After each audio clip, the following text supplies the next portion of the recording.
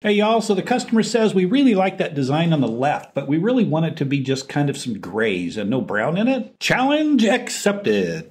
so um, I'm going to stick with uh, a couple different black colors for uh, the undertones, and then I'm going to uh, add some, uh, it's an aluminum, or no, it's a uh, dark silver metallic uh, to give it that silver type look. And so that's what I'm doing now is I just want to get kind of my base color set down. And honestly, I really wasn't quite sure. This is my first practice board, first sample board for the customer uh, to see what I can come up with. So my mind is rolling right now with what kind of design and how am I going to go about, you know, kind of doing this. That's the silver that I put on there. And anytime I use silver, silver can very quickly take over. So with my gloved hand, actually, I sprayed some isopropyl alcohol on my gloved hand. And uh, again, just to start off with giving me a base, I'm just melding uh, all of those colors together. And you're going to see a lot of swirl marks and finger marks and things like that. And I guess that's the glory of Stone Coat Epoxy, having such a long open time. And one of the hardest things for me to learn when I started doing this was be patient uh, meld the colors out like what I'm doing now, and then give it time to soften, give it time to move around a little bit, and give that design uh, a little bit of a chance to develop uh, before you go on to your next step. So this was this was kind of mission accomplished, I guess, of what I was looking for. Um, I do need to get some white in there because the customer does have a white tile for a backsplash. So I need to get a little bit of white to uh, kind of help tie in with that. And so that's what I'm doing here. And I don't want to get too carried away with the white. I just want to be able to have some in there.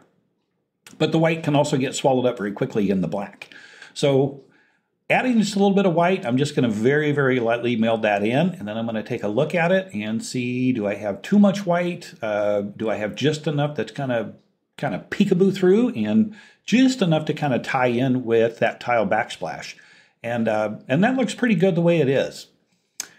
Also, I know if I if I put too much white in there, then along with that black, I'm going to end up with too much gray, and I don't want to do that either. So that's what I'm trying to accomplish here is to get a balance of having an amount of gray in there, having some white in there, and then also having some of that black kind of show up through too.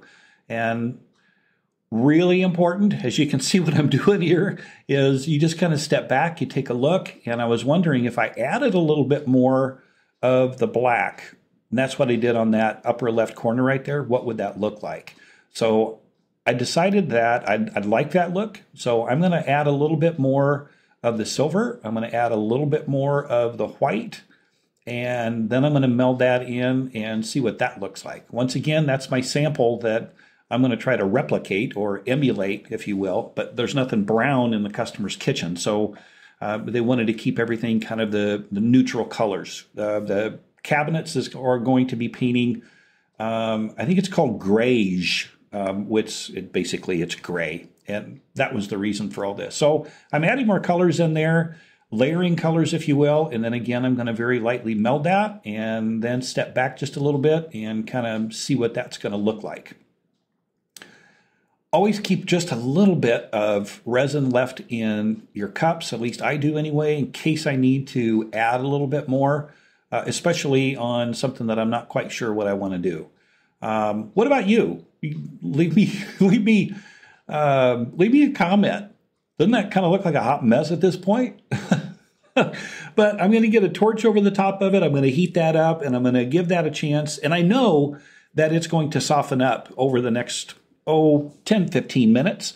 It's going to soften up. Those finger lines that you see in there are going to kind of go away.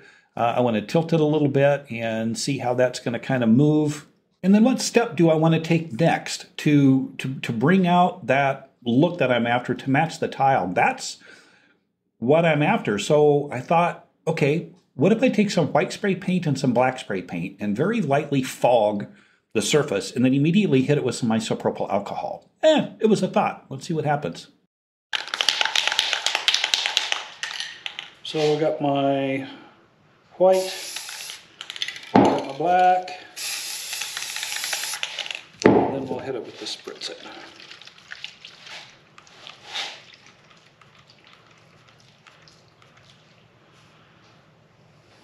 Okay, that's kind of looking like what I was after. Maybe a little bit, some bigger drops in some places. And again, I'm not looking for cells. I'm just looking for how that alcohol is going to break up the spray paint.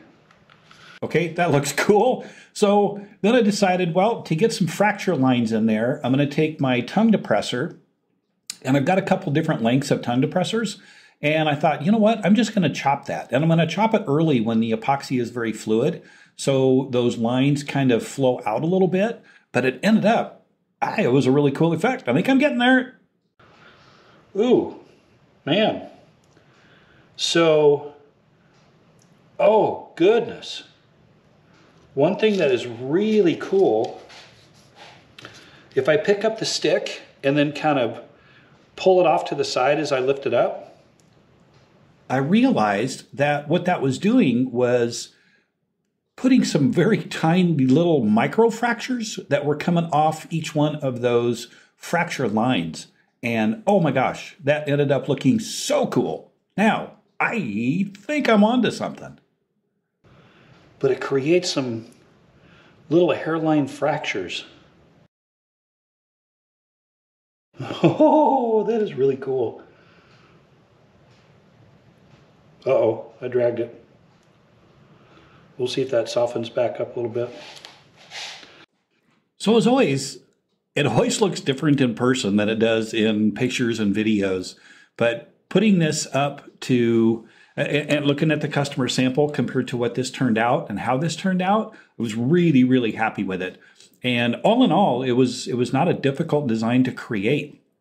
There wasn't that many steps to it, uh, but chopping it in with the, um, the the tongue depressors really made all the difference. That and also fogging it with the white and black. And that was a very, very light fog, but it gave it just a little bit more of the gray color. And the white is peekabooing through just enough to really help tie in, I guess, with uh, their tile. So all in all, I was really happy with the way it turned out. And the white, actually, the white spray paint kind of uh, gave me some of the gray that I was looking for because I really didn't want to get it too dark. But then by pushing the popsicle stick down there, that brought up some of the black from down below. Uh, that looks really cool. And on this, I probably used just under three ounces per square foot. Wow, I really like that. That is very cool. All right, we're just gonna kind of let that meld out for a little bit, and uh, we'll see how that softens up over time.